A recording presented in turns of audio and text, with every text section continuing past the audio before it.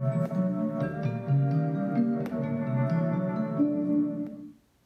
êtes toujours sur Via Mirabel à quelques jours du G7 de l'environnement qui se tiendra à Metz. Les entreprises, elles, s'interrogent déjà sur la transition écologique, ses enjeux et surtout sur la manière dont elles peuvent s'en emparer. Jean-Marc Brodag est avec nous. Bonsoir. Bonsoir. Vous êtes responsable des relations publiques à Copalia. Alors demain se tiendra une masterclass au campus Supélec de Metz. Ce sera de 9h à 13h. Qu'allez-vous aborder durant cette matinée? Alors nous nous sommes dit à l'approche du G7 euh, national qu'il fallait que les entreprises puissent s'exprimer. Donc les PME, les petites et TPE sont très loin de la transition énergétique, des problèmes environnementaux. Donc on s'est dit, il faut leur donner la parole. Donc on a organisé ce pré-G7. Et alors, qu'est-ce que, qu'est-ce que vous allez aborder euh, concrètement? Ce, ce, seront des conférences, des intervenants qui vont venir parler de ce qui se passe dans leur entreprise? Alors justement, ça se passera en trois temps. Dans un premier temps, ce sera la présentation du, concept qui est peu connu, c'est l'économie circulaire. Alors ça fait bizarre, l'économie circulaire. Aujourd'hui, les entreprises ont une responsabilité en amont sur les euh, prélèvements sur la nature, euh, sur les, les, gaz à effet de serre dans leur production, en cours de production et en aval. On est de plus en plus responsable en tant qu'entreprise des produits qu'on propose, du transport, etc. Donc, penser ce qu'on appelle l'économie circulaire, c'est penser tout le cycle avec son personnel et euh, l'anticiper pour gagner en économie, mais aussi c'est un vrai projet pour la planète et ça fédère les, forces vives de l'entreprise. Et alors du coup, cette masterclass, elle s'adresse uniquement euh, aux gérants d'entreprise, aux employés euh? Alors ça s'adresse cette masterclass s'adresse aux, institutionnels. On aura la région, le département, l'ADEME, donc les institutions qui sont là pour faire descendre de la ressource et de l'accompagnement pour les entreprises. Et nous travaillons avec des PME dans les clubs d'entreprise. Copalia est inséré dans les clubs Rive de Moselle, Technopole. Donc dans les clubs d'entreprise, aider les petites entreprises à aborder ces logiques et d'une manière assez euh, pédagogique, ludique. C'est pourquoi ce pré-G7, il y aura des ateliers qu'on appelle Serious Game, où on se mettra en simulation de nouvelles euh, conceptions de, la, de fabrication. Donc euh, ça, c'est le deuxième temps, les ateliers. Et je disais un troisième euh, chapitre, c'est le mode de décision, comment on va faire ensemble, comment on prend des rendez-vous pour après, dans les clubs, avec l'ADEME, avec la région, pour mettre en œuvre de l'aide aux, petites entreprises à la transition écologique? Alors vous disiez justement que les entreprises, elles ont des obligations en matière de transition énergétique et écologique. C'est seulement euh, au, niveau de leur production c'est dans l'ensemble de la production et il y a même des projets pour faire intégrer la TVA qui tiennent compte de la taxe carbone, mais d'une manière plus souple, qui permettrait, plus souple que ce qu'on a pu entendre, qui permettrait euh, ensuite d'être redistribué à ceux qui sont les plus vertueux. Donc il y a une incitation d'en haut et nous, ce qu'on veut aider auprès des entreprises, c'est la, bonne pratique qui vient d'en bas et comment partager les expériences exemplaires dans certaines entreprises qui ont déjà assumé la transition. Donc ce n'est pas forcément des amendes, au contraire, c'est plutôt euh, mettre en valeur les comportements vertueux. Alors, on incite souvent les particuliers à adopter euh, les bons gestes, euh, à recycler, euh, voilà, tout ce qui est en matière d'environnement.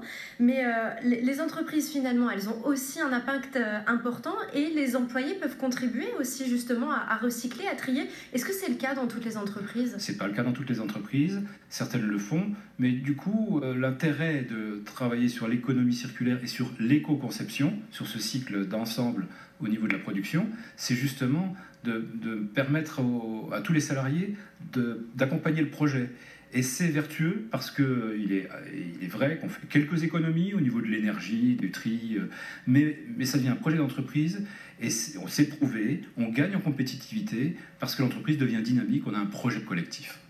Généralement, c'est bien accepté euh, par les entreprises, par les employés, ces, ces projets, quand ils sont mis en place? Ça, ça peut être bien accepté si c'est pas imposé d'en haut, et si tout le monde euh, y va progressivement, et on a en projet à Copalia d'accompagner par la formation des, référents environnement, comme il y a des référents santé, sécurité, euh, des gens volontaires qui puissent de l'intérieur accompagner le changement. Et c'est vraiment fédérateur. Comme, quand on organise une équipe de sport dans une entreprise, bah, là l'enjeu il est pour la planète. Donc on, travaille en équipe autour d'un projet. Mais alors du coup c'est vous qui vous déplacez au sein des entreprises pour, euh, pour montrer ce qui peut être fait ou les employés viennent plutôt dans, dans une structure qui vous appartient? Tout se partage, déjà la connaissance. On a volontairement l'intention de remettre en place des sites de ressources qui permettent à tous de, savoir ce qui se fait ailleurs, et puis d'aller visiter des entreprises et d'intervenir dans les entreprises. C'est fait à l'intérieur, à l'extérieur. L'entreprise devient un peu ouverte à, ce, à cette nouvelle modalité. alors, est-ce que ça coûte de l'argent justement de mettre en place ces projets de transition écologique euh, au sein d'une entreprise? Nous sommes convaincus que ça peut ne pas coûter et au contraire en, rapporter, comme je vous disais, en productivité, parce que euh, si on pense les choses avant, on pense économie, par exemple transport. Euh, il y a des entreprises qui s'y mettent euh, quand elles sont plus importantes sur du covoiturage, sur des questions de, euh, transport du personnel, inciter des personnels à venir à, vélo, utiliser les transports en commun. Donc c'est des choses qui se, pensent en amont et du coup qui permettent de faire des économies au lieu de, payer des amendes. Et est-ce qu'on peut mettre aussi des, des entreprises en relation les unes avec les autres qui pourraient se compléter justement? Je vous remercie de poser la question, c'est excellent. C'est euh, inciter à jouer collectif, à jouer d'une manière coopérative entre entreprises, un fournisseur, un client et les, clients finaux en aval. À un moment donné, c'est intéressant de penser le, le concept de coopération, c'est ça aussi l'économie circulaire.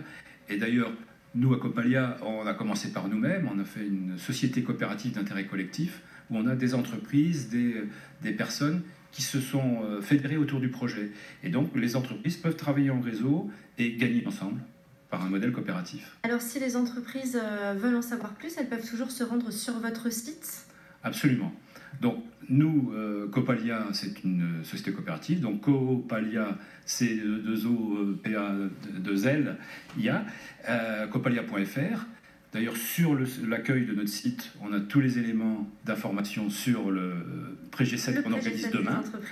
Et, euh, et on a les éléments euh, qu'on peut apporter à tout le monde, particulier entreprises, sur le site de Copalia. Eh bien, merci beaucoup Jean-Marc Brodac d'être venu sur notre plateau. Donc, je le rappelle, cette conférence, elle aura lieu euh, demain, cette masterclass plutôt, demain au campus Supélec de Metz, de 9h à 13h. Vous retrouvez euh, toutes les informations sur le site qui s'affiche euh, en bas de votre écran, ou plutôt vous pouvez envoyer vos demandes de renseignements à cette adresse. Eh bien, restez avec nous puisque l'information continue sur Via Mirabel. Merci.